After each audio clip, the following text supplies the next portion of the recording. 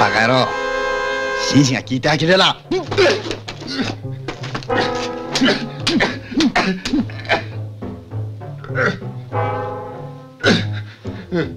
この子うちまで送ってくからね。車代もらってくよ。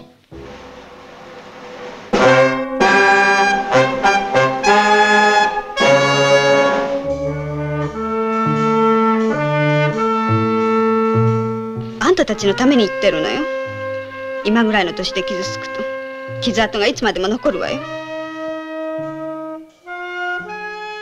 それは姉さんが思い切って行動しなかったからよ。破れないって自信あるの？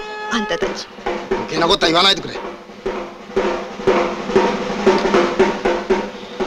俺たちあんた方みたいにみっともないことにはならないよ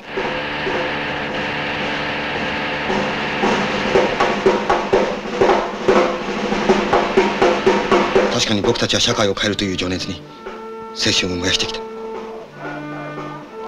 しかしぶつかってもぶつかっても壁は壊れない。